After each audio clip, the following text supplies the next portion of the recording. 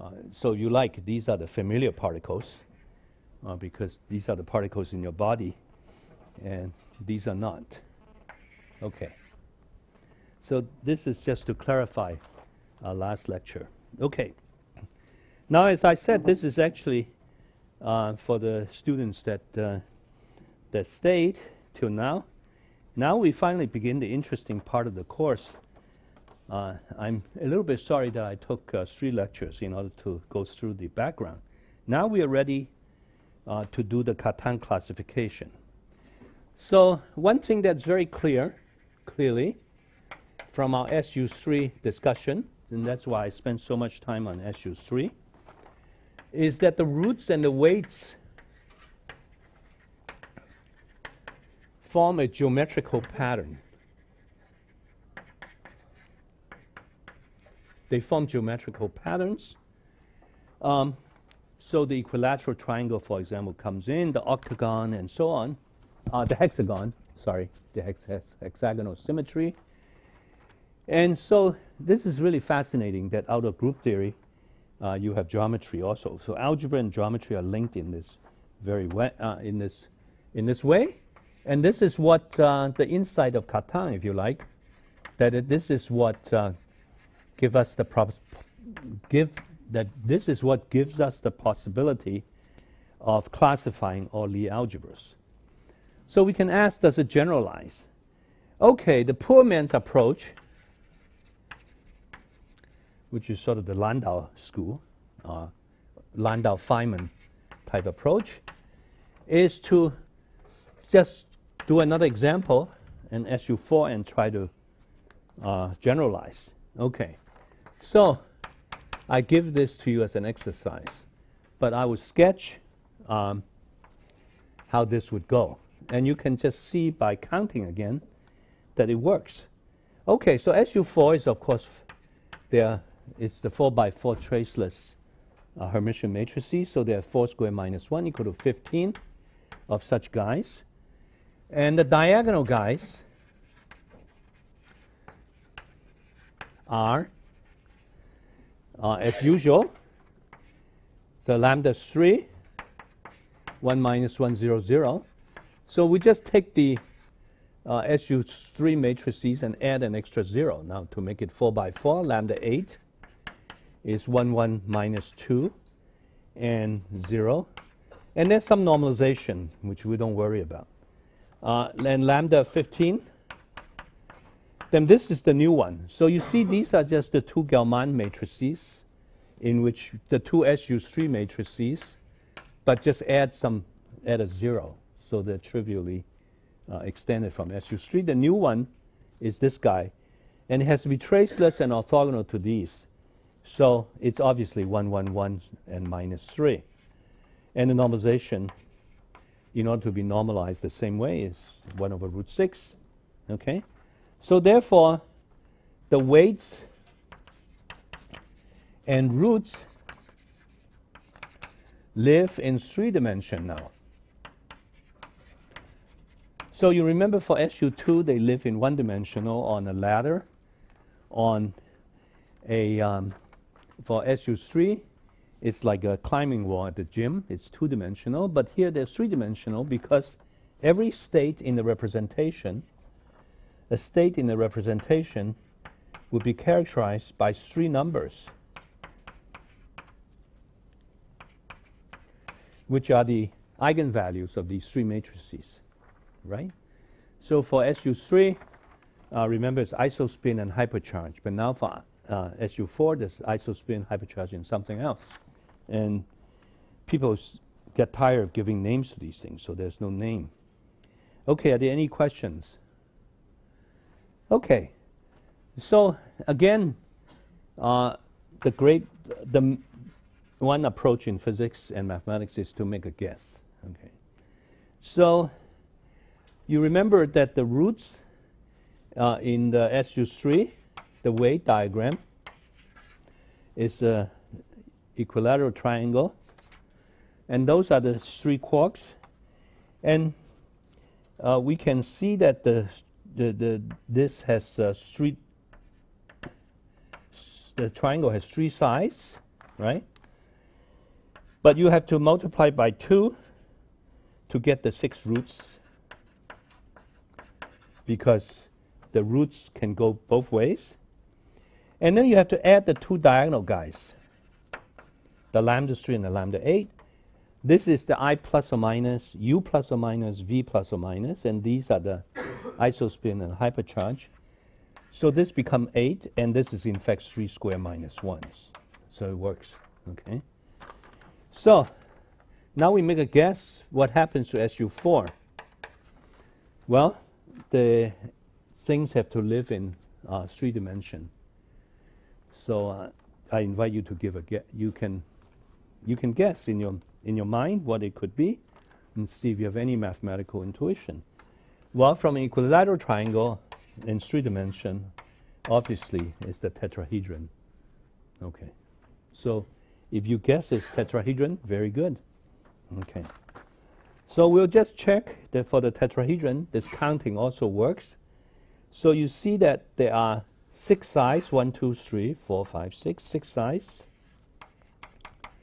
So there are 12 root vectors, right? Because each side you can go both ways.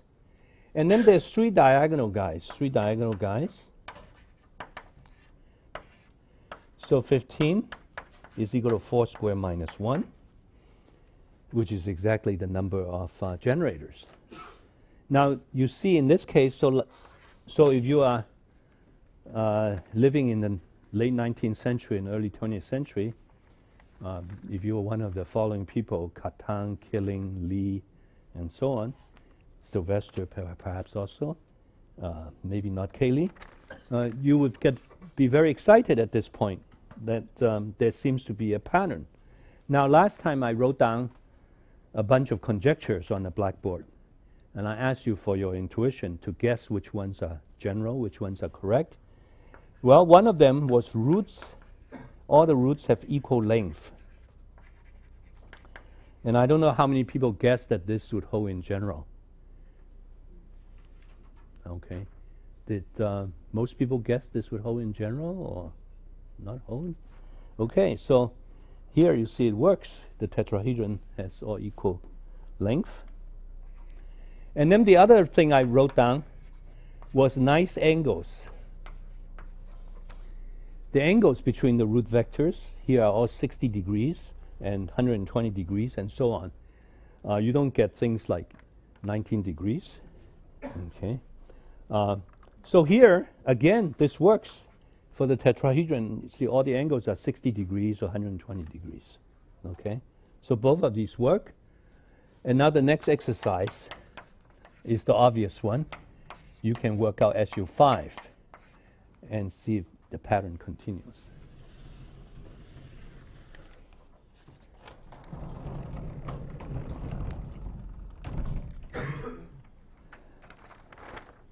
Okay, so now to, I'm actually, for the reader, for the students who are reading the book, I'm now on chapter 6.2.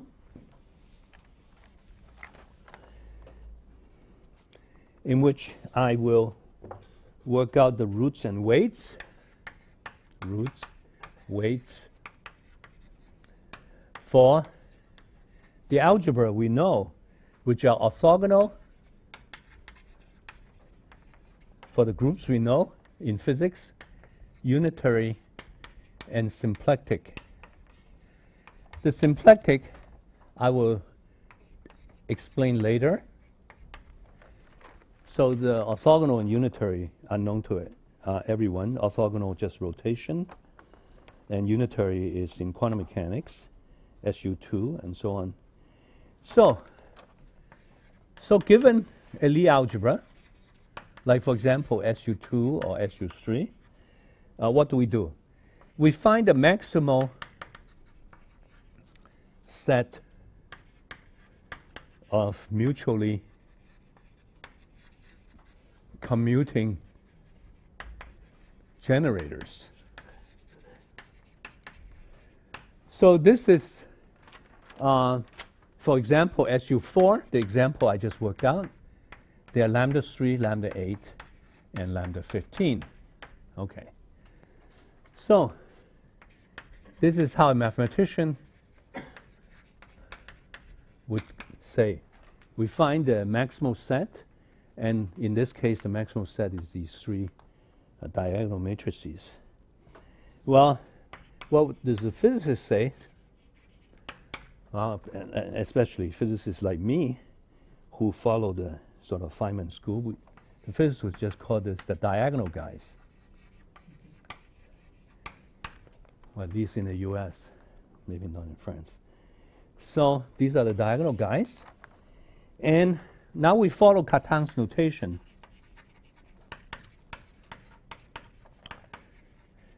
Cartan's notation is that these guys are called HI.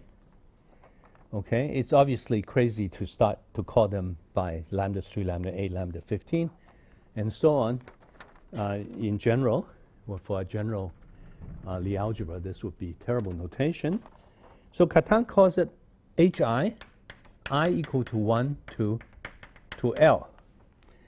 And this number is called the rank. And so, because the when I wrote my book, I looked at uh, various textbooks on group theory, and it seems that books, uh, many in mathematics, is always called L, but many physicist books, for example, uh, books written by physicists. I think, for example, the book by Georgi and maybe the book by Hamermesh, and so on, uh, is often called L. So I try to decide between the two notation, but I finally decided I should follow Cartan. So I use L, okay? But just to tell you that, people. So let's just make sure everybody knows what L is. L equal to 1 for SU2, L equal to 2 for SU3, and so on, okay? So the rank is the dimension the root vectors live in. Okay. So here's our, I find an easy strategy. So this is an easy strategy. What we want to do is to work out the roots and the weights for these different algebras. And here's the easy strategy is that you first you find the HI, then you find the weight diagram of your favorite representation Okay, so HI, so here's so your favorite representation. So for example, for SU3, your favorite one would be the, the triangle uh, or uh, the octet.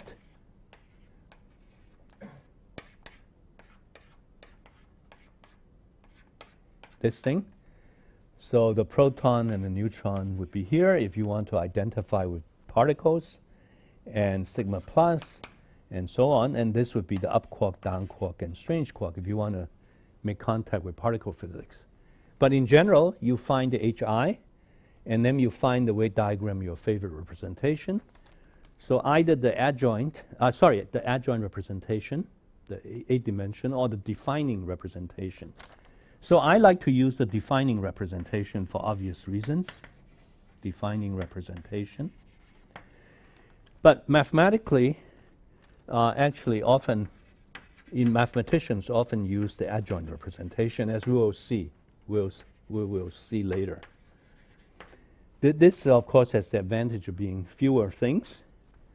And then you join the join the dots.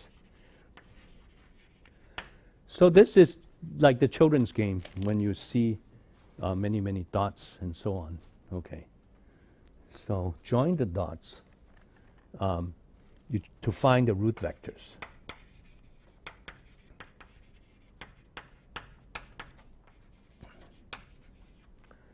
Okay, so, so all the dots.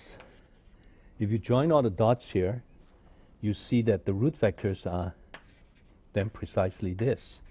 The arrows that connect uh, the three dots to each other are these six vectors, and those are the root vectors. So any questions? I hope this is clear. Okay. Now I'm going to now do, do this strategy that I call the easy strategy. Uh, when I wrote my book, I looked at some some books, and they make it uh, some other math, uh, some other books on group theory, and it seems very mysterious and complicated. And so I wanted to make clear that it's actually quite easy. You you, you do this, okay? And suddenly, when I was a student, I was quite confused. Uh, when, as I said. Uh, Coleman told me to spend the summer studying SU3, but now I realize SU3, I don't need the whole summer. One could do it in afternoon. Okay, so let's do SU3 as an example because we know SU3 so well. This is why I spend so much time on SU3. So the first part of the strategy is to write down the H. So H1 is the diagonal, and this notation means the diagonal matrix with these diagonal elements. 1 minus 1, 0. And there's some normalization factor, which I'm not going to worry about too much. Then H2 is diagonal uh, 1, 1 minus 2 over root, root 6. Okay.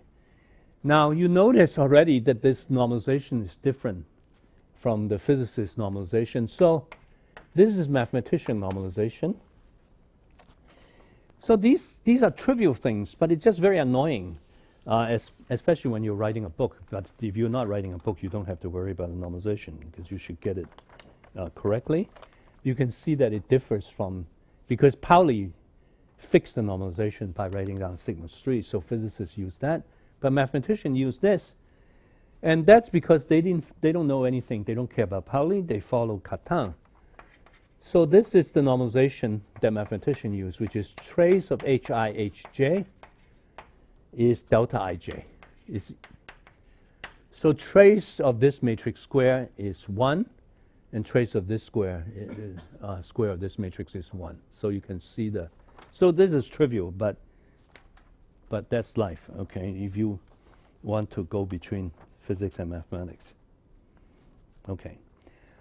Now you want to find so we now say that the uh, the weights live in a two-dimensional space, and one axis is h1, the eigenvalue of h1, the other is the eigenvalue of h2. So this notation means, let me put quotation mark. I don't mean to put the matrix on the on the coordinates on the axis. It just means you classify them according to the eigenvalues of the. So the three states of the defining representation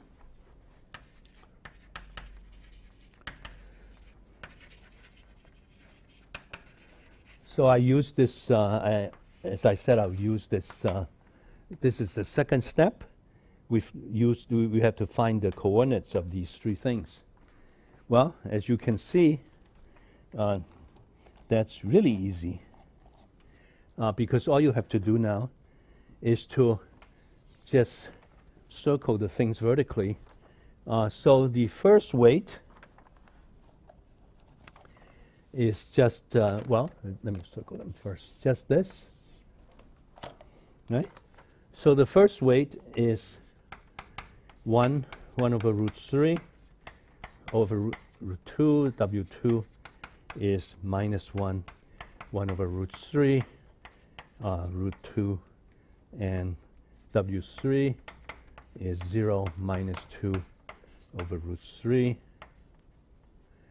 over root 2. So it's just these, this, the equilateral triangle again. So you see what I'm, do you understand what I'm doing? I'm just, oh, I'm just copying this 0 minus 2, but with the normalization. Yes? Sorry? No, by definition, the, this, the defining representation uh, this it's uh, it's locating where the up quark is in isospin and hypercharge space. So this is isospin, and this is hypercharge, suitably normalized. So by definition, uh, the diagonal elements uh, are the eigenvalues of uh, isospin and of hypercharge. So it's by definition. So this is the I, this is the isospin and hypercharge of the up quark. This is the isospin and hypercharge of the down quark. And this is isospin and hypercharge of the strange quark. The strange quark, by definition, is zero isospin. Yeah, question. How would you do this differently if you chose the? Oh, then uh, the the H1 would be uh, there would be eight numbers, and then you'll be you have eight columns. Yeah, so uh, clearly it would be very uh, you cause trouble for yourself if you pick the 27. You know, as Feynman said, you know, throw away the 27. If you if you choose to work with the 27, it will still work, but then uh, it would have uh, 27 numbers, right, with 27 states, and there will be 27. 27 of these blue circles. The matrices will be 27 by 27. So it will be diagonal. Okay? You can do it, but it would be. Uh, maybe in spite of Feynman, one should give an exercise and make students work out the 27 in its full glory. Uh, I'm, I've never seen the 27 worked out, I, I guess, ever since what Feynman said. Uh, all the students avoid 27. Okay, any questions? Okay, then the next step is to join the dots to find the root vectors. Okay, so of course uh, we're not children, so we don't have to join the dots. We know how to do this. We just subtract vectors, right? The, the this arrow is just the, the, this coordinate minus that coordinate. So just subtract. So the root vectors. The third step is root vectors. Okay, root vectors. Now, because I'm writing this on the blackboard, uh, and in the book also, when I was taking all this, at some point I get uh, tired, right? So no more arrows. The vectors are not going to have any arrows on them from now on. Okay? So the first root vector, and again, this is mathematician notation. The root vector is alpha 1. The first one is W1 minus W2. And this is square root of 2, 1, 0. Alpha 2 is W2 minus W3 is equal to minus 1 over root 3 divided by root 2. And alpha 3 is equal to W1 minus W3. These are three of them. And then the other three are just the, ne the negative and their negatives.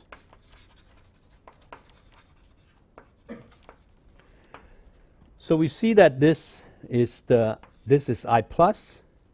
Uh, so this is the I've forgotten whether it's U plus or V plus, and this one is the this guy. And then of course you have their negatives, the thing pointing in the other direction. So those are the six root vectors. Okay, any questions? So I think you can um, by now you can mechanize this and I'm sure some students will now write a computer program, a mathematical program in which you can press a button and uh, produce all the roots of any Lie algebra you want. Okay. Now, last time I introduced two important concepts. Um, one is positive roots, and the other is simple roots. You remember I introduced these two concepts, which are called positive and now I'm in I'm in I'm going to follow the mathematician's convention. So you see that uh, the physicist's convention was that they favor isospin uh, over hypercharge just for historical reasons because Heisenberg is a big guy and uh, he had isospin first, but the mathematicians favor H2 over H1. So as I said, which you call positive of the eight root vectors here, uh, doesn't matter. Physicists are mostly pointing east, and mathematicians mostly pointing north. Okay, so so but with this convention, then the positive um, roots are Wm minus Wn with m less than n. These are positive. And what are the simple ones? The simple ones, if I use the mathematician's convention, they are clearly these two. And so it's W1 minus W2, uh, W2 minus W3. So first you find the positive roots, and remember the simple roots are the positive ones in terms of which the other positive root can be written with positive coefficients. That's very, see, this is a confusing way of saying things, but it's trivial. It, it's sort of the outer. Yes, please. I think that you made a typo for lambda 3. Yeah? The arrow is wrong. Yeah, that may be, yeah. Uh, this one. Yes, Yeah, thank you. Oh, this one, yeah. Okay, thank you. Yeah. Okay. Yes, oh, Kiron. Yeah. You, you consider that the factor matrices are given. Yes, that you have to find them. Yeah. Yeah, that's a good question. Uh, I think a physicist would just write down all the diagonal ones.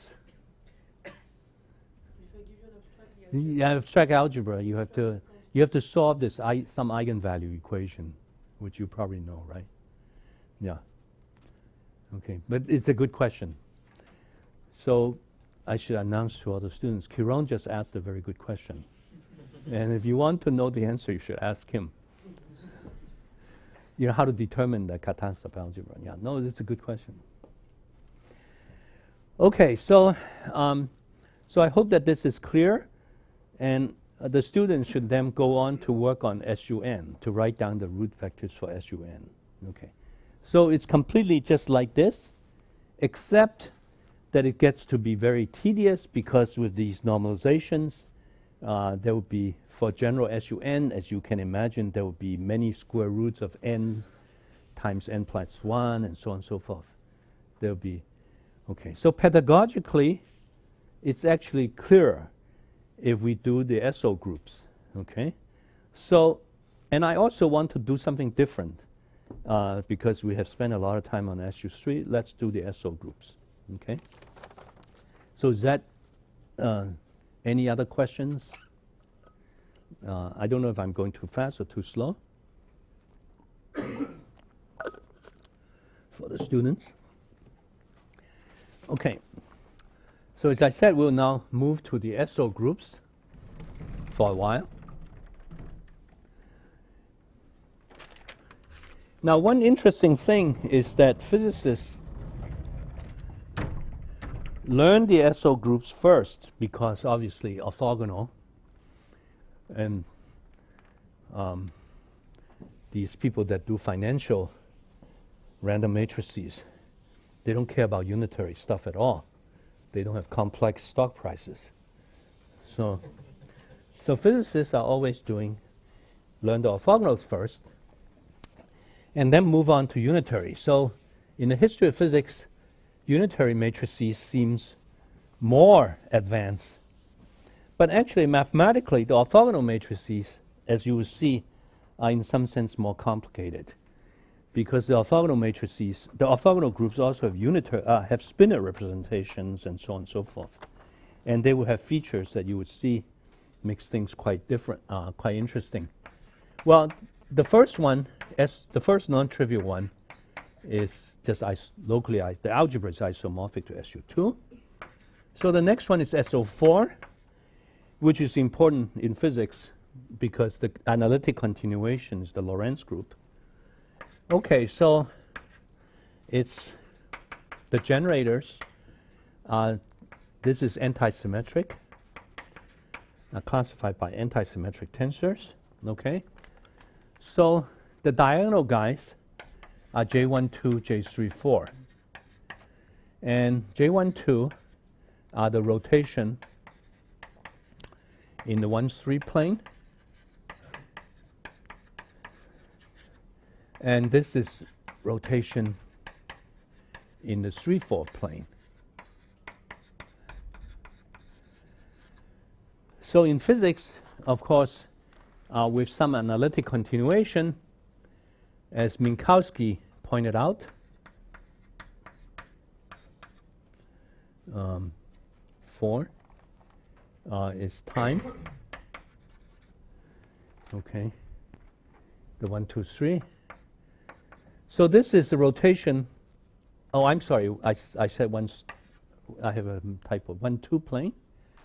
And of course, for so for physicists, this is rotation around the z-axis. And this is a boost along the z-axis. Okay? But in general, the rotation should be written this way. So we these are the two diagonal matrices. So you write down four by four uh, real anti-symmetric. So the generators, of course, real anti-symmetric matrices um, with an I. well, I, I'm not okay. I'm not going to worry about the I, but the rotation matrices. So this is the H1 It's just 1 minus 1, 0, 0. So the usual of rotation matrices around the z-axis would be 1 minus 1, 0, the 3 by 3. But we are in 4 dimensions, so it's 1 minus 1, 0, 0. And the other one is obviously 0, 0, 1, minus 1. Okay, so now you see we mechanize this procedure. We've written the the students have written a computer program, and we can do this. Uh, we can find the weights right away. So the weights, you just go like this. So the four weights are W1 equal to 1, 0. W2 is minus 1, 0. Okay, W3 is 0, 1. W4 is 0, minus 1. Okay. So the weights are them, and uh, this guy, this guy, this guy, this guy. Okay? So this is uh, kind of very, uh, uh, we feel uh, good because after the equilateral triangle, we meet our old friend the square. So this is our uh, when we're children, we learn the triangle and then we learn about the square. So the square appears. And now we find the roots. The roots are just the things that connect these guys, right? But both ways. The roots. So the roots alpha 1, for example, is W1 minus W4, which is 1, 1. And I would not write down write them down for you. You can write them down. And so the roots are just, the root diagrams is just this. Very nice, right? So let's check. Uh, there are four uh, roots, okay? There are only two positive roots and two negative roots, and plus the two diagonal guys, two diagonal guys, it's equal to 6. But 6 is rotation, 3 rotations plus 3 boosts to use physics language, or to use mathematics language, it's uh, 4 uh, times uh, 4 minus 1 divided by 2, which is 6. Right? The antisymmetric rotation. Okay. Yeah. In the previous case, we had three groups and a negatives. Why did we not take the negatives now? Oh, they're the, the they are the we did take the negatives. Uh, we have two roots, two positive roots, and these are the negative guys. Okay, the two positive roots are these two. And they are the negatives. But good question. Okay.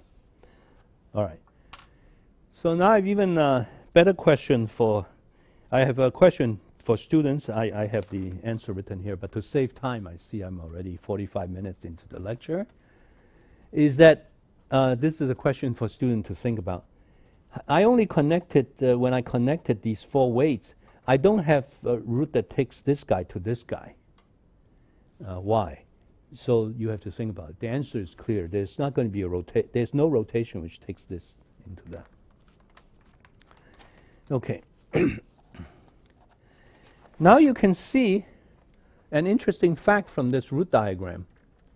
You see that uh, last time we say the commutation, commuting, uh, remember that when we did the I spin and U spin and so on, uh, we add the root vectors to find.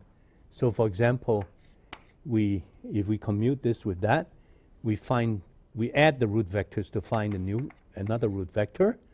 And if this root vector doesn't exist, then the commutator must be zero. Okay. And if it exists, it, it's uh, there. Now here, see, it's interesting. If I take this uh, generators of this rotation, this root vector, and I add it to this root vector, then I get this root vector, right? But this root vector doesn't exist. So these two things uh, must commute. So this shows that this the, the generators of this and this commutes. So in fact, you can see that the SO4 from the root vector, you can see it's isomorphic to SU2 to SU2, cross SU2, the SO4.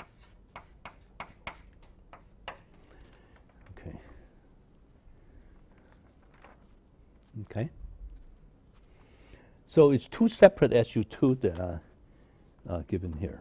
Okay, now uh, you can, uh, with, so the uh, one, so now in, in also uh, notation,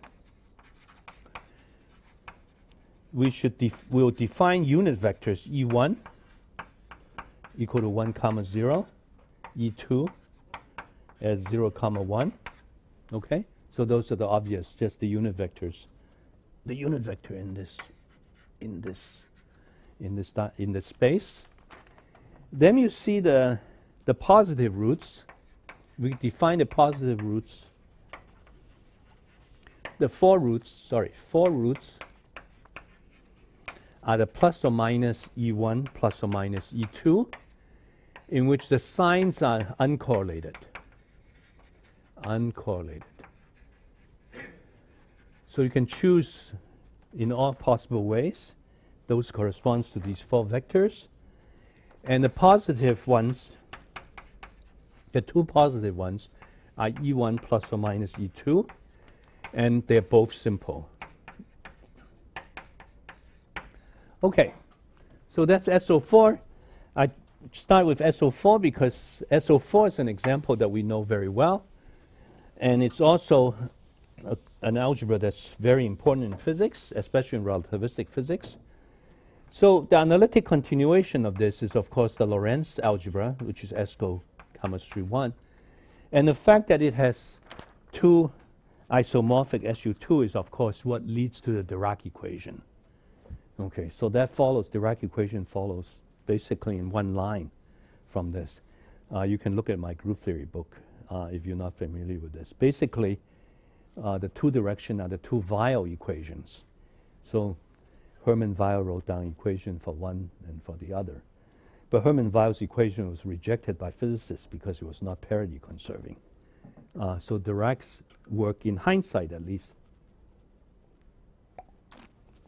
is putting the two Weyl equation together. Now, of course, historically, this is a classic example of physicists not knowing any mathematics, but able to get ahead. Dirac did not know anything about group theory or Lie algebra. He simply guessed the equation. Okay. So next, I show you something interesting. So which is SO5. Now we move on from SO4 to SO5. Uh, there will be one or some surprises. So SO5, the two diagonal, the diagonal guys are H1 and H2. The diagonal is 1 minus 1 0, 0, 0. Okay? And diagonal 0, 0, 1, minus 1, and 0. So these two are, of course, exactly the same as SO4, which is, of course, a subalgebra of SO5. But now it's, of course, 5 by 5 matrix. So there's an extra 0 at the end. Okay? So H1 and H2, well, find another So this is the first surprise. Uh, so that find another, and there's none. Uh, there's there are no other diagonal matrices you can find that are traceless. Okay. So this is an example. This simple example uh, answers, but only very partially by example of Quiron's question. Quiron's question was how do you find all the h's? Well, physicists write down the diagonal matrices and they cannot find another one, and so they said are only two. The mathematician will have to prove this, okay? But I think it's, it's clear to Feynman and Landau and people like that that there are only two. Okay, somehow these people don't need proofs. Um, so we see this is very interesting that although SO5 is bigger than SO4, right? SO5, I should write it like this. SO5, S, SO4 belongs to SO5, but they're the same rank. They both still rank 2 algebras. So this is, um, make a very, very slight joke. This is somewhat different from human society. One guy is bigger than the other, and the other guy is just subset of him, but they have the same rank. Okay. So, but then the, um, the there's one more weight, right? And in fact, let me be consistent and use the same color.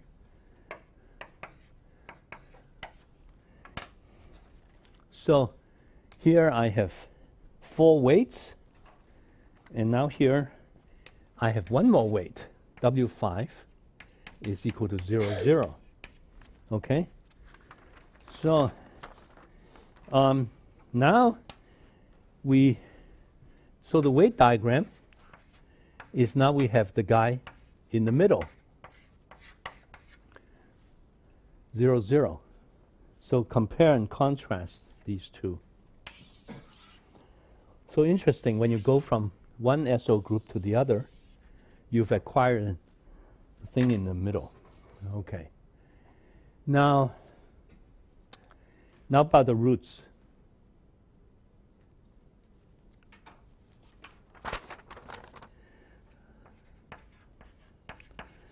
By the way, the the the the, the okay, so so there's one in the middle. So now the roots uh, in they, we have these guys, but now we can also have roots that take this guy to this guy, right? These are all roots now and the negatives. So now the root diagram suddenly becomes this. Sorry, it's the same diagram as before. This one. Right? This one with these four, but then we now add these.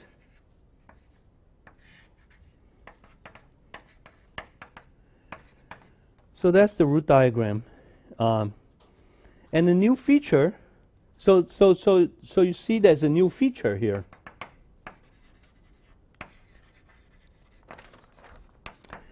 I asked you to conjecture uh, all kinds of things last time to test your mathematical intuition. And one of them is all the roots of equal length. That was a conjecture. See? If you guess it was correct, um, you guessed wrong. Your intuition was wrong. This is the first example in which you have roots with different lengths. Okay? So there are four roots whose lengths are square root of 2. In some, if we normalize this to have root 1, then there are four, and the mathematical notation, mathematicians call them long roots and short roots. So now we have a new concept, long roots and short roots. There are four long roots and four short roots. Okay. So I think you, to, I, I, I don't know how many people uh, have correct intuition. Just, uh, um, so, but the angle business is still correct. It's a nice angle. It's 45 degrees. It's not 44 degrees, it's not 46 degrees. Okay, so. Yes. 90 degrees is bad. 90 degrees means that, 45 was good. Yeah, 90, degree, 90 degrees is not bad angle, it just means the two algebra decouples, 90 degrees. But as you see, you would see later in Cartan's classification, 90 degrees is also a special case. So this is, of course, going to be Cartan's strategy, the classification strategy, be, that to prove that only ang- some angles are, are possible. So again, this is something for the students, a challenge for the students. You can try to prove it now. Um, because uh, looks like I won't be able. I don't know. I probably won't be able to prove it today. So here's the challenge for the students: prove that the angles between the roots cannot be 19 degrees or 47 degrees, but has to be a nice, quote unquote, nice angle.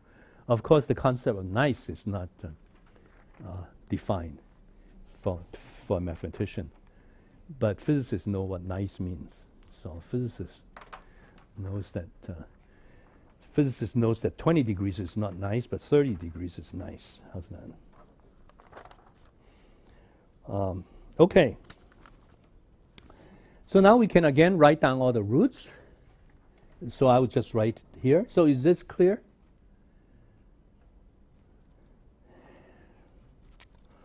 So there are eight roots. And using the same notation, and sines, uh, I would just write uncorrelated as UNC. So then it's just like, uh, like here. The roots are the signs are uncorrelated. So the eight roots are plus or minus E1, E2. And then E1, E plus or minus E1, plus or minus E2. We have four extra short roots. So the long roots and the short roots are going to to to be you they they they will have different. And by the way, so that's the this already tells you about the Dynkin diagram. If you've ever seen a Dynkin diagram, you see it consists of circles and lines, and some circles are black and some circles are white. And um, so this is a preview. The long roots are black and the short roots are white, or vice versa uh, depending on your convention. So, um, positive roots. So, what are the positive roots? Is E1 plus or minus E2, E1, E2. These are the positive roots. So, these are exercise for you to work out. Um, uh, simple root, the or the positive roots are obvious, uh, but the simple roots is the exercise, exercise, exercise to work out the simple roots. And it's E1 minus E2 and E2. Now, at first sight, so that of course there should only be two simple roots because it's the algebra is rank two, and the roots live in two-dimensional space. So this, um, uh, at first sight, this looks very strange to a physicist because physicists believe in democracy of some kind. So it may look strange that only E2 appears and not E1. But that's, of course, when you define positive roots and simple roots, you already favor one axis over the other. Okay, so it's not democratic at all. Okay, so work out that this is the are the two simple roots. So to prove that, the exercise is just to show that E1 is not simple. Right?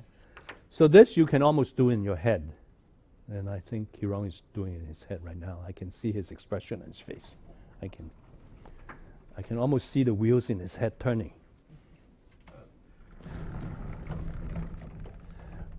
Okay?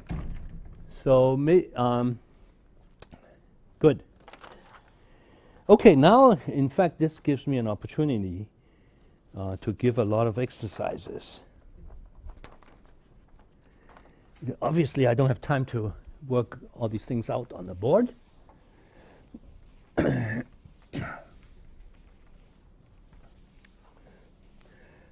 so again, you must. These exercises are sort of are rather fun. So I.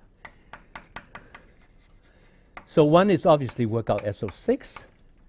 And another exercise is you can see that SO2L versus SO2L plus 1, you can already see they're different from this example, SO4 and SO5. And in fact, it's interesting because mathematicians think of them as two distinct families two distinct infinite families. Okay? And uh, the other exercise I already gave, which is to work out SU4, to see that the tetrahedron emerges. Okay. So, this is interesting because physicists know about the unitary groups, the orthogonal groups, and the symplectic groups. So the physicists know of three families.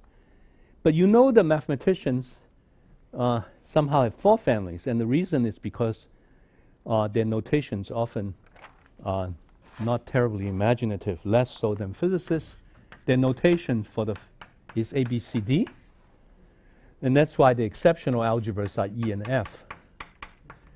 So physicists, um, maybe you should be puzzled why we have orthogonal unitary and symplectic, and they have ABCD, and it's because the two SO, the what physicists think of as the odd uh, orthogonal groups and the even orthogonal groups are different mathematically.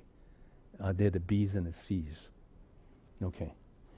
So I'm going to now just start on the symplectic groups uh, before the intermission. So the symplectic group, I'm going to tell you in algebra. Uh, I, I will, um, I will tell you a story later. It's rather unfamiliar to physicists, um, so I need to go back. So I'm just going to define the symplectic algebra, and I'll ask the students to read chapter 4.8. So today's lecture is actually chapter 7 uh, point something. Uh, so this is in the first half of the book. There's a chapter on symplectic. Okay, so talk about the symplectic groups. You first have to define a matrix J, which is 2n by 2n,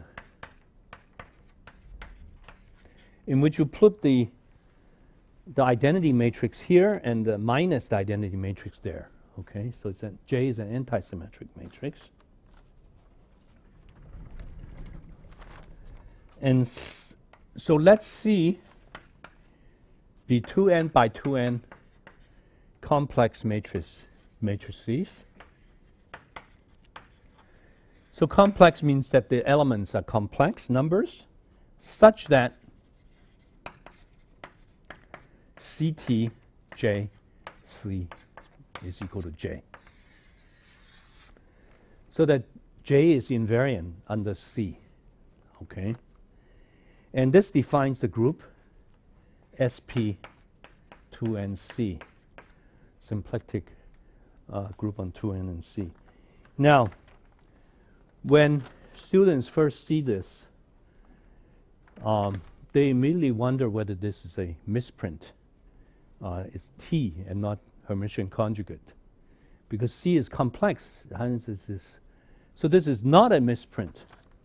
It really is T, the transpose. Certainly, when I was a student, when I first saw this, I thought it was a misprint also. Uh, but it is, in fact, not a misprint. It really is T and not uh, uh, uh, adjoint. Okay. Now,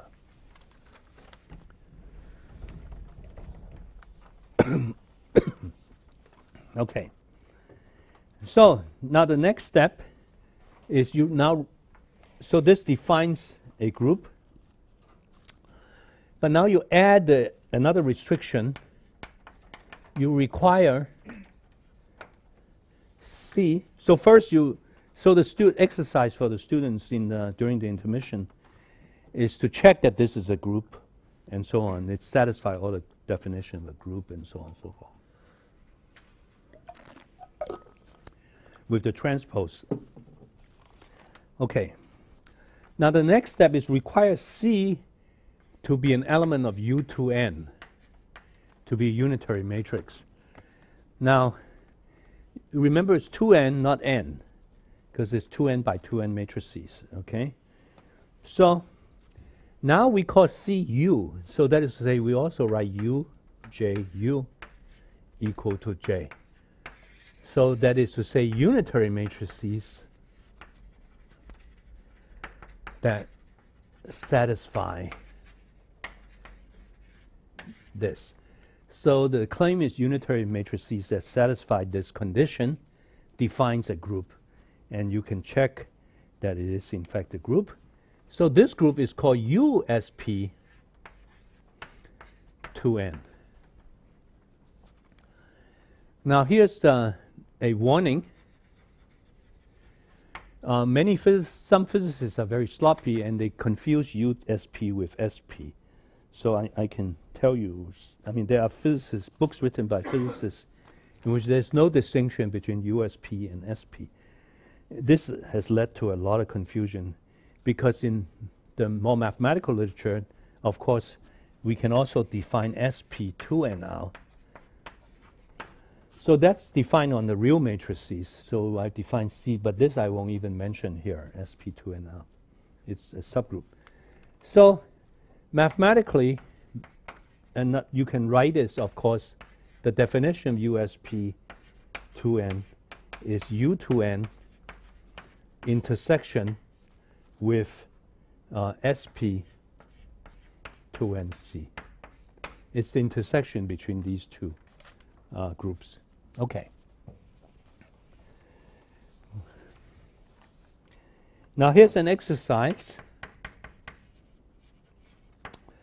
um, to show that it is not this USP2N is not subgroup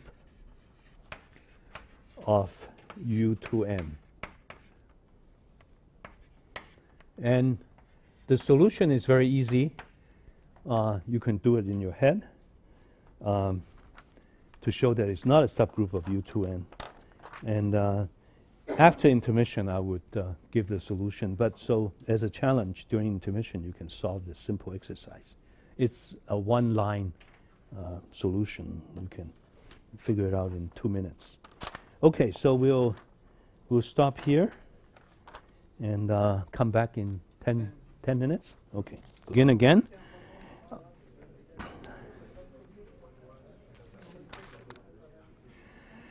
So I realize uh, students are full of questions, which is a good thing. Um, so some students came and asked me questions during intermission, and I realized that many of the questions are points that I uh, have explained in great detail, but in the first half of the book. So, uh, because this course sort of jumped in the middle somewhere. So, one student asked me the difference between the defining representation, the adjoint representation. So, one way to think about it is just for SU2. So, the defining representation is obviously two dimension. That's the definition of SU2. You transform two things.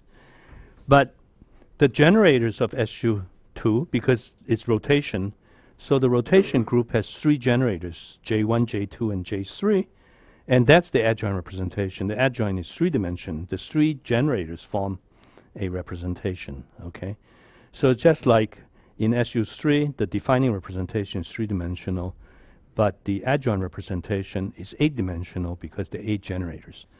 So I don't remember the chapter, but in I think one of the early chapters on rotation, I discussed the adjoint representation in great detail.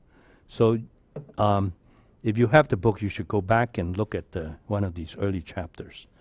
Uh, by the way, my, my pedagogical style is I like to take a simple example and beat it to death. It's called, um, it's called beating it to death. So I take um, something like the rotation group and I um, uh, put down everything I can think of about the rotation group. So it, it just exhaustive discussion, exhaustive and exhausting discussion rotation.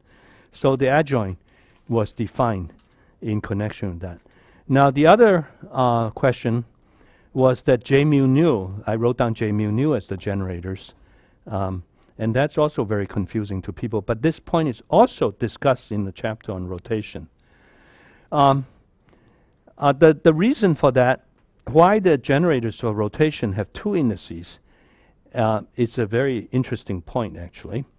Um, because from childhood, uh, we think about rotations, rotation around some axis.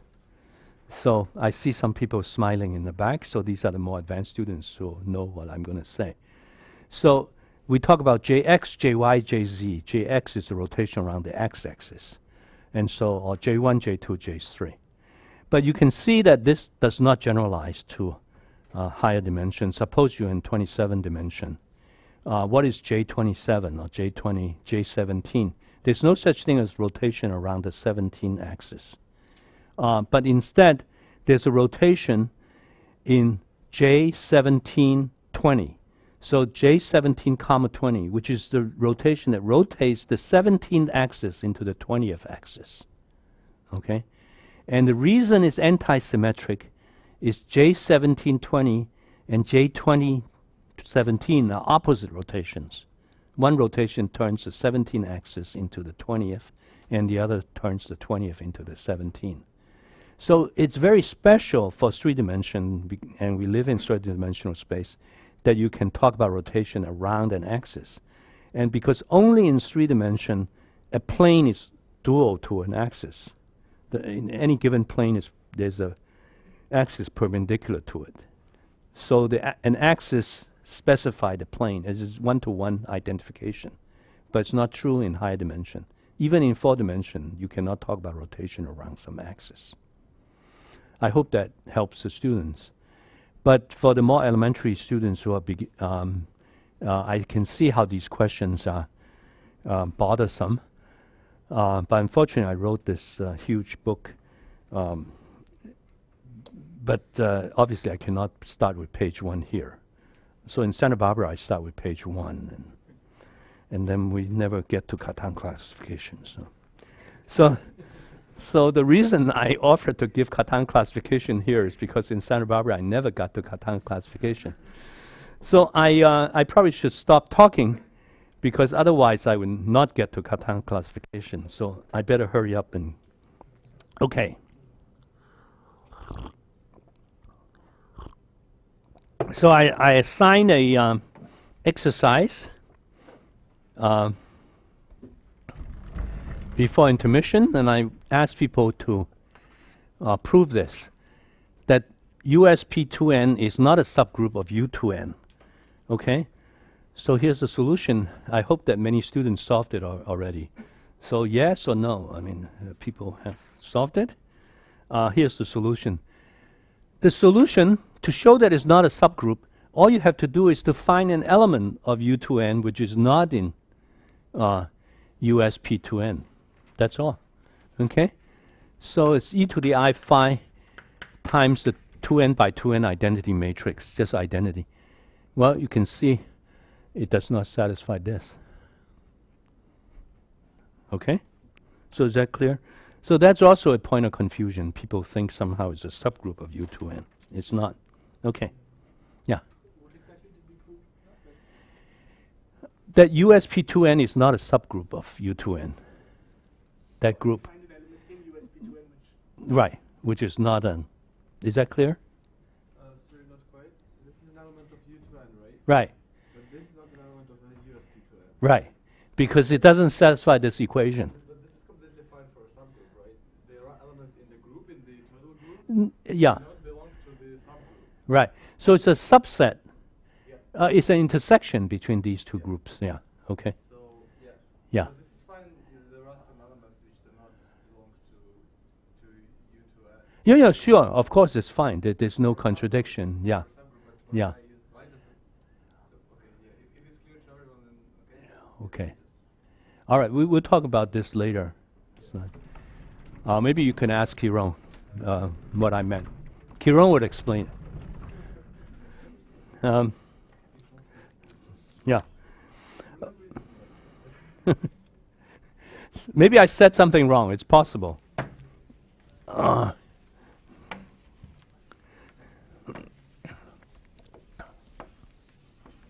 You meant that it's not identical USP and to. UN, yeah. That's for sure. That's for sure. there is it, is yeah. But if it's, uh, it's still the subgroup. It's still a subgroup, yeah, okay. Yeah, I said something wrong. Okay, so uh, let me not worry about this at this point. Uh, so I, I want to, to, move on, okay? So um, uh, the exercise that I want people to do, another exercise, is for this group. Um, it has n to n plus 1, show that it has this many parameters, okay? USP2N. Okay. And so the next step is to go to the Lie algebra. So, so far we have talked about the group. So the Lie algebra is, as I explained in an earlier chapter, is you just look at the infinitesimal group elements near the identity. So H is Hermitian, and because I'm, uh, yeah, I, I, I said something wrong, in fact, because it's an intersection of U2n, uh, so it's inside U2n, this thing, so H has to be Hermitian. Because this is an in U2n, okay?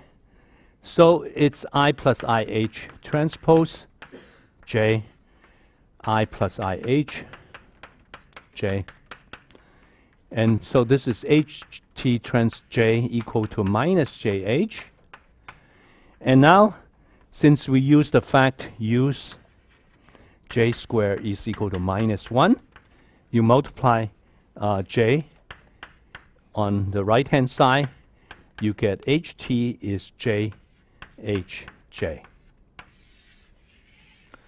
So J turns a Hermitian matrix into its transpose, like this. But this is not a similarity transformation. J is not the inverse of J because J squared is minus 1. Okay? So again, these, uh, these look very strange because usually you think of Hermitian matrices, you think of um, Hermitian conjugate. Okay. So now we can use this to solve for the Lie algebra, which I'll give an exercise, is to find the algebra. Okay? So this you do by saying H is you write down the most general. Um, th this is sort of the physicist way. I don't know mathematicians maybe maybe have. So this is just the poor man's way. You write down 2n by 2n Hermitian matrices. 2n. So this means P and Q are n by n Hermitian matrices. And W is uh, in general complex. So this is W and W dagger, okay, not Hermitian. So write down these, this thing, and you plug into this equation and show, plug in and show that what PWWQ must satisfy. And after you do this, you find what the possible H's are. It's IA, direct product with I, okay? So this is 2 by 2, okay? And I'll tell you what the notation means, S1 cross sigma 1, S2. The Pauli matrices appear again.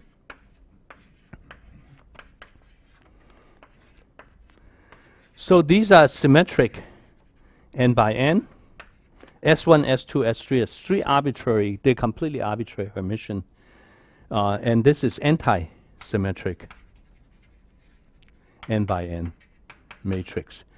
So you can check that uh, the, the, number of uh, possible in independent uh, matrices corresponds to this number. Okay. Now, um, okay, is that clear? You, you plug in this form into this equation and solve, and then you find constraints on P, Q, W, and so on, and then you find that the, the solution is this, okay? So for example, uh, this guy in my notation would be S1, S100. Okay? Now here's the exer more exercises, uh, which is not surprisingly, some of the uh, so also uh, sloppy physicists notation, sloppy physicists.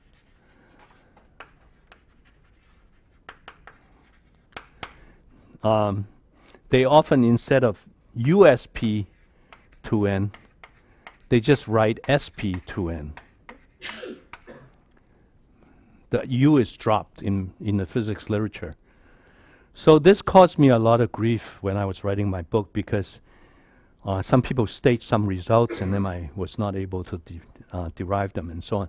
But anyway, now using this sloppy physicist notation, it would not surprise you that some of the symplectic, low-lying symplectic algebras are isomorphic. Well, SP2, for example, SP2 has it corresponds to n equal to 1, And according to that, the previous exercise, it's 1 times 3 has 3 generators. Well, we know there are not so many algebras with 3 generators, right? You know, you write down three things, A, B, C, and you start commuting them to form the algebras. You soon discover there's only basically one possibility. So, not surprisingly, it's isomorphic to SU2. Now here's the one that is more surprising, which is the symplectic group SP4 is isomorphic to SO5. And a trivial check is, of course, generators, and so here you find that 2 times 2 times 2 plus 1 is 10, and 10 is exactly 5, 5 minus 1 over 2. By the way, you can see in group that group theory obviously has a lot of connection with number theory because various identities must work. So, all kinds of uh, weird things like this. okay, so I promised to tell tell uh, one student during intermission asked me, uh, told me that uh, students here have not studied uh, symplectic groups at all, and uh, certainly when I was a student, I think I, I, I don't think I even heard of the symplectic uh, group.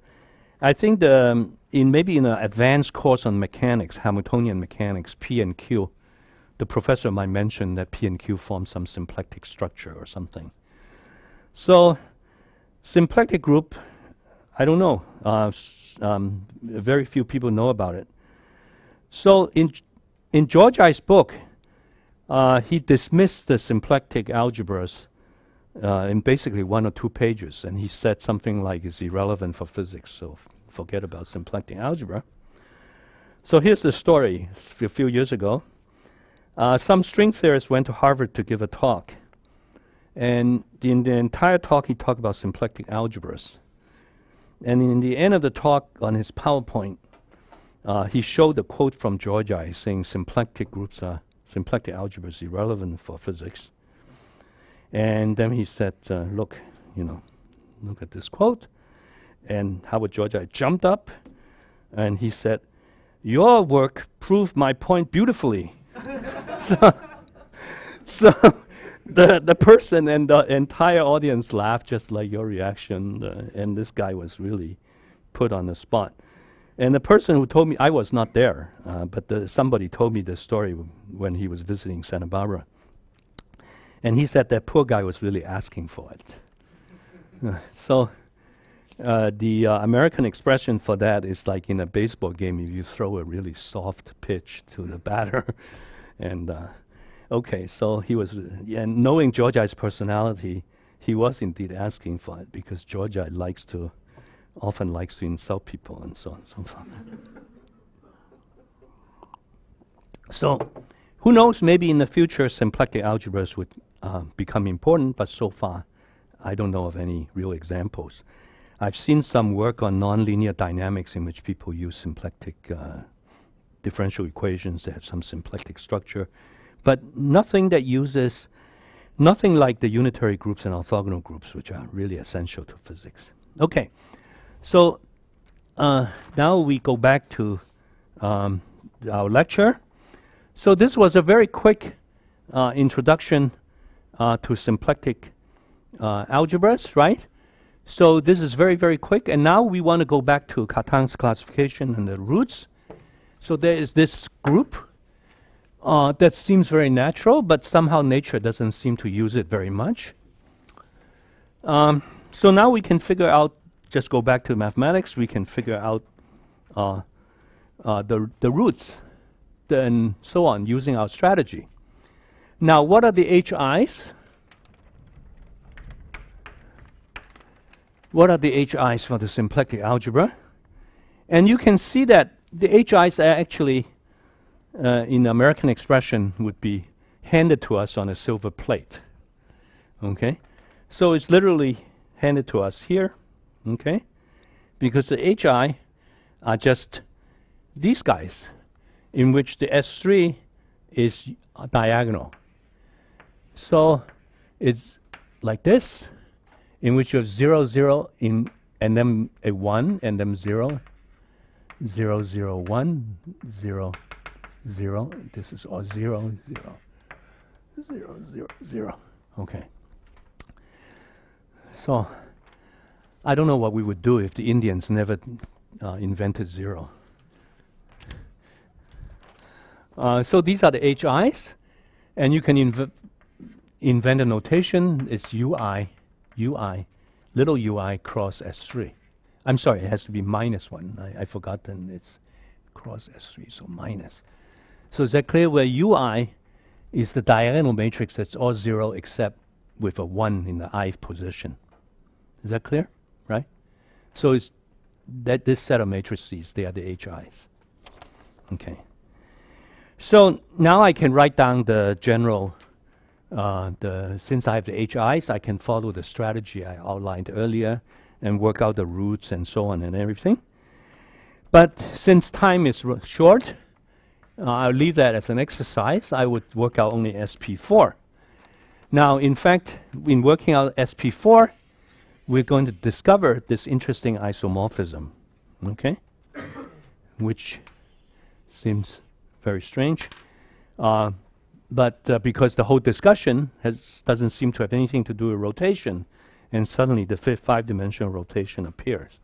So SP4 has 2h, n is equal to 2, right? Because this 4 is 2n. So h1.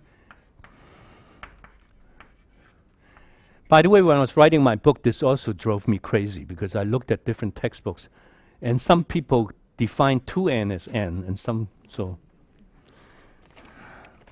So h1 is 1, 0, minus 1, 0, according to this.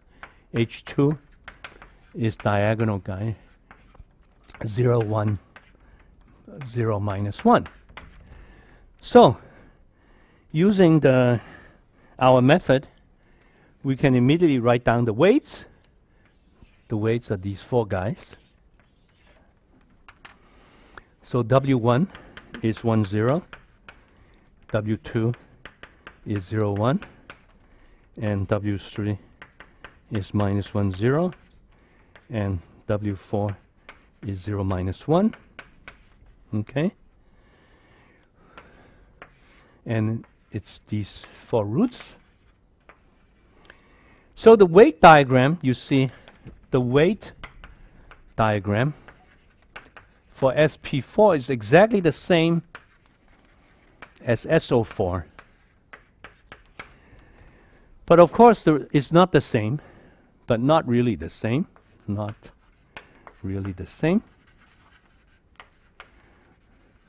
Because as we see, uh, SO4 only has six generators, and SP4 has 10 generators. So there are four extra, four more roots. SP4 has four more roots than SO4. Okay? Because before we can only have these guys taking the four things, and now just like before we can have these. So again, I hope I have not erased it.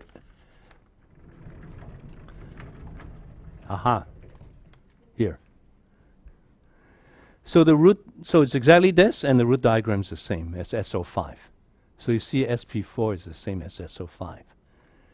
So by the way, if you uh, try to prove the isomorphism by brute force, it takes a little bit of uh, it takes a little bit of labor. But you can also, as an exercise, try to prove it by brute force. Yeah, question, please. You don't have the weight on 0, 0, so you have to switch between the long roots and short roots. Yeah, very good. That's, this is maybe what I'm going to do next. Uh, see, let's see. Let me see if you I answer the, the question. Okay, so now if you look at the uh, the root diagrams, I think this is I think this is a very good question. I think I have the answer. I'm not sure. But now you find that the roots are EI plus or minus EJ and plus or minus EI plus or minus. Uh, the signs are not correlated. Um, so the now the roots, if you work it out for SP4, we see that it is this.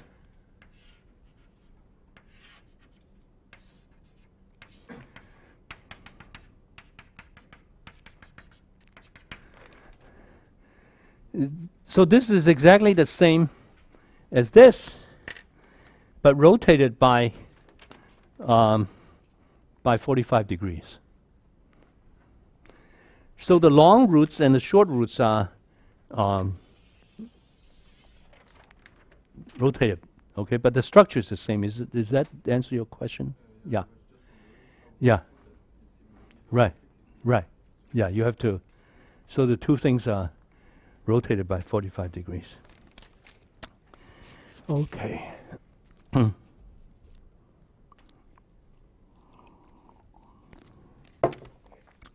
okay, so this is very concrete, this lecture so far.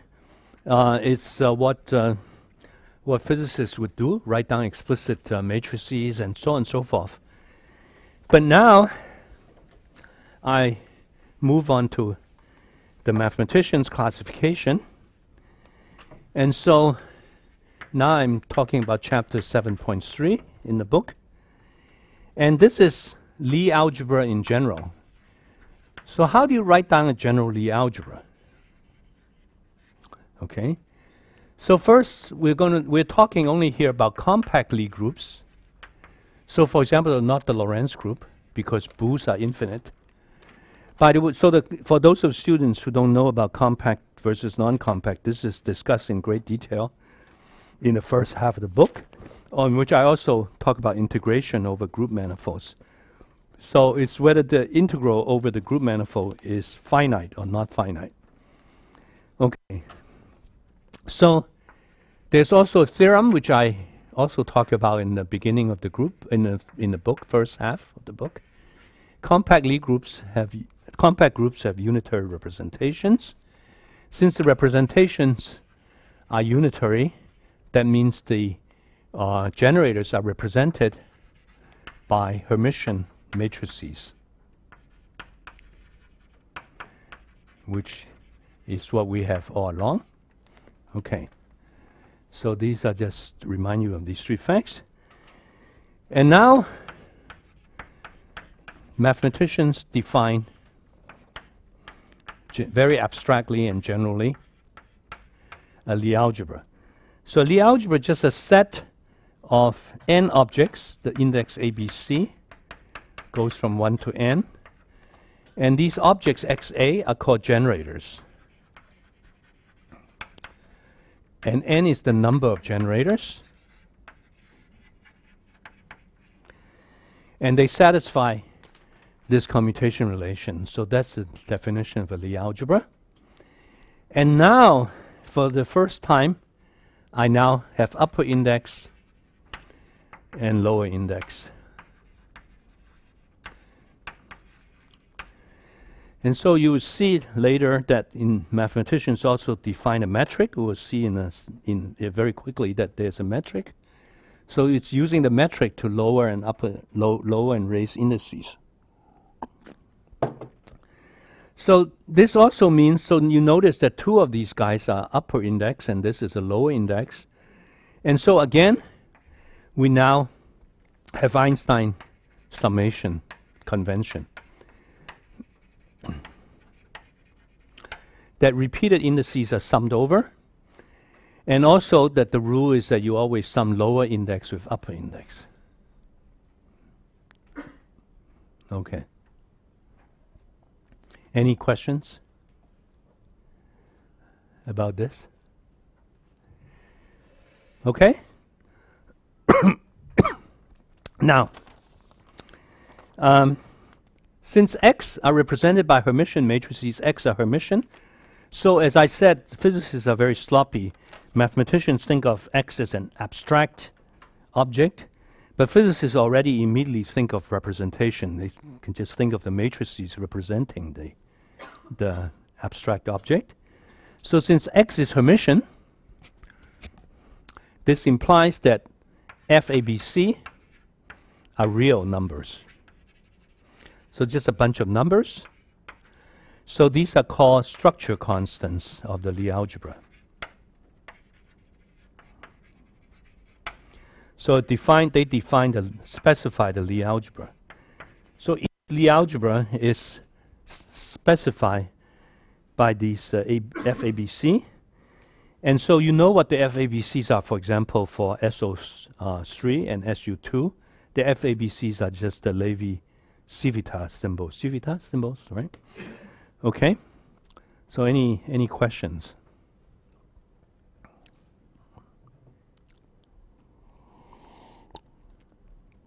So, um, during intermission, a student asked me about the adjoint representation. So the adjoint representation is going to uh, come in shortly. So, so far we don't know a representation of the Lie algebra. But it turns out that the structure constants themselves define the a- and the representation. And this representation is called the adjoint representation. So for SO3, so SO3 is the example. The structure constants, that's epsilon ABC. The Levi-Civita symbol. And epsilon ABC defines the 3 by 3 rotation matrices, the generators of 3 by 3 rotation matrices. Okay?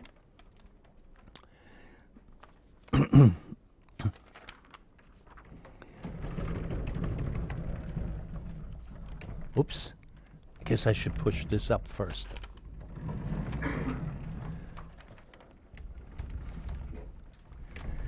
So I think I'll erase all the symplectic stuff.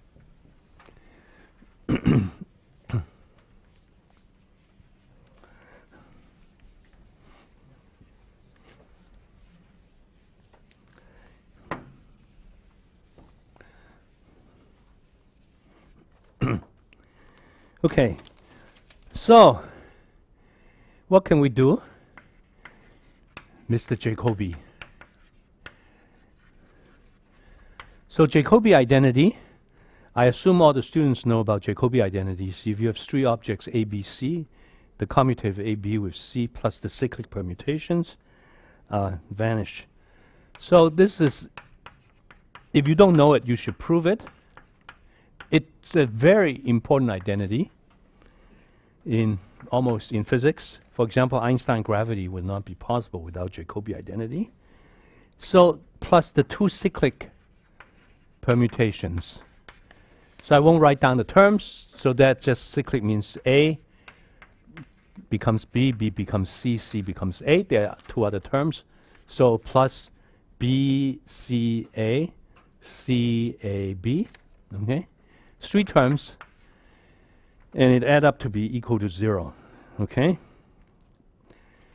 Now, if we commute this, this obviously is FABD xd, and then we commute with xc, right, this term.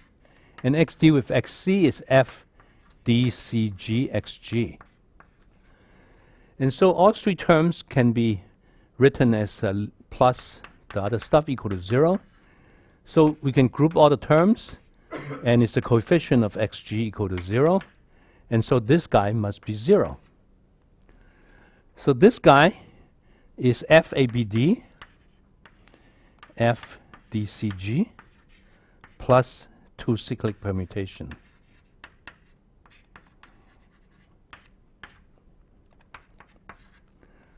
Okay?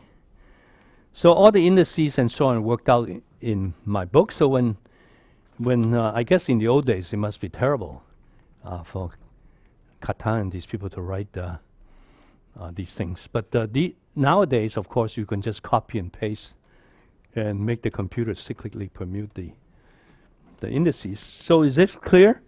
This is a D. The D is summed over, but A, B, C and G are free. So there's an identity. The Jacobi identity says the product of two structure constants satisfy this. Okay? Okay. So for, I make a historical remark here for people who are old enough.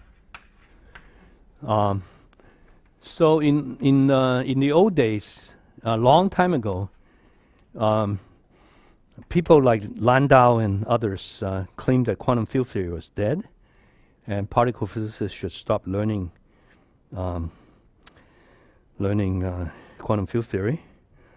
And in the United States, it's a big enough country, so on the East Coast, people learn quantum field theory. On the West Coast, people do not learn quantum field theory. And uh, so then, if you were, as I was, going to graduate school, there was a choice between. Uh, I had a choice between going to East Coast or to West Coast, and that um, the deciding factor is whether you want to learn quantum field theory or not learn quantum field theory. So if you go to the West Coast, like Berkeley and Caltech, you learn about bootstrap. And bootstrap says the world is not described by quantum field theory, but described by some self-consistent equation. And uh, and again, the name I think was invented by Gell-Mann. You pull yourself up by the bootstrap, and uh, so these are the self-consistency equations. This is the on which all physics was supposed to be based. So fortunately, that turned out to be wrong, and so the people that learn quantum field theory. Um, um, uh, all the people that went to the West Coast have to quickly learn quantum field theory on their own. Uh, if they're smart enough, like David Gross, who went to Berkeley, he quickly learned quantum field theory. But people who are not, um, they were lost. Um, so anyway, that's a historical remark. Um, so now, uh, what we're going to do is going to define n, n by n matrices. Now this is seems very strange, and this is you have to be careful. The n of them, each one of them is n by n. Okay, and these matrices are going to be called Ta. Okay, A equal to one to n. And in the United States, TA means teaching assistants. So, so there's always some teaching assistants hanging around. So, and the definition is that TA, the ma this matrix TA, its entry, its BD entry, so it's the entry in the Bth row. So let's see, is it row or column? I, I, it's, so the, it's the BD entry. So B is the row and D is the column, right, or something. So, but uh, let me just call it BD entry is equal to defined to be minus F A B D. Okay, so is that clear? So A, everything is n by n. ABC runs over n. ABD or run over n by n uh, values. But A is now labeling the matrix. It tells you which matrix you're talking about. And then B and D tells you which row and which column. And it's given by the structure constant. Now, it's good to think of the SU, SO3 example. In SO3, the F is just uh, the antisymmetric Levi-Civita symbol. So for SO3, these three matrices are just uh, 1 minus 1. There's a minus i, so the i has to be included. You know, just the three rotation matrices that you learn when you learn about rotation. I, I, okay? So those are the three matrices for SO3. But in general, for a Lie algebra, there will be n such matrices made of the structure constant. Okay? Now, we take this equation and we have to massage this equation. And after some massaging, you would discover that it tells you something very nice. Okay. For example, this first term, you can see FABD is just the matrix TABD times the matrix uh, T C uh, DG.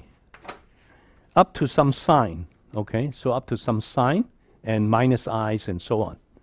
Okay, and you can see this because so it's oh so I I, I I I forgot to make an important remark. Uh, it's obvious from the definition of f, right? Uh, where did I put it? It's gone.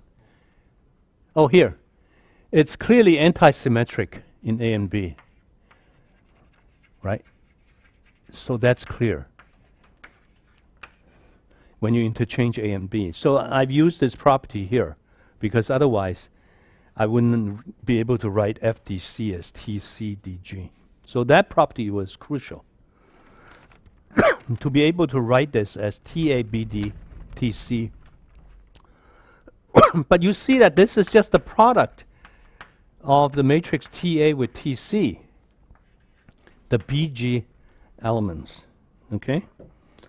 So, after some massaging, you discover that each term can be written in this nice way.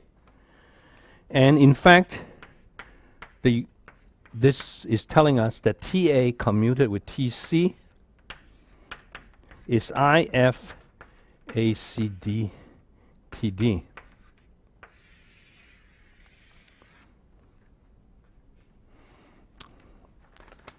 Okay. So, this is a remarkable fact that I already alluded to.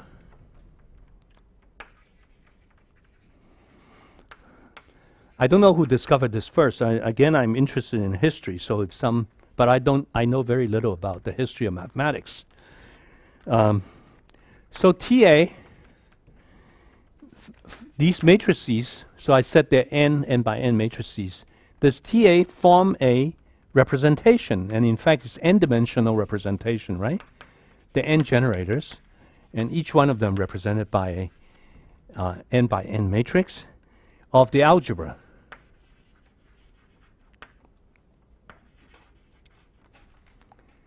Because this is exactly the same as the equation up there, right? This, so the t's represent the x. So the x are, if you like, abstract generators, and the t's are concrete uh, realization. And as you might have guessed, this is a famous representation. this is called the adjoint representation.